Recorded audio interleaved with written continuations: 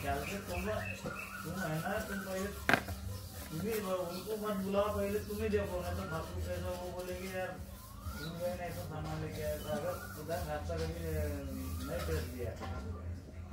हाँ टेस्ट दिया तो आपने सामने कभी दे रहा है तो उनको बुलाने कोई दिक्कत नहीं।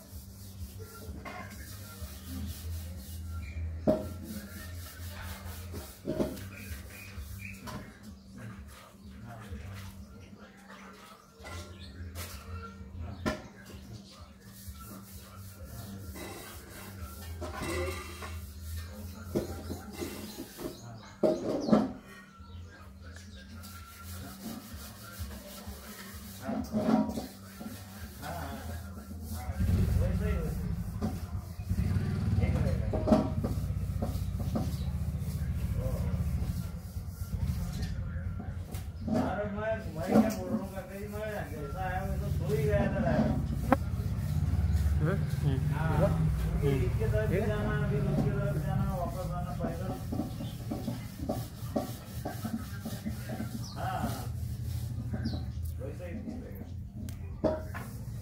감사 합.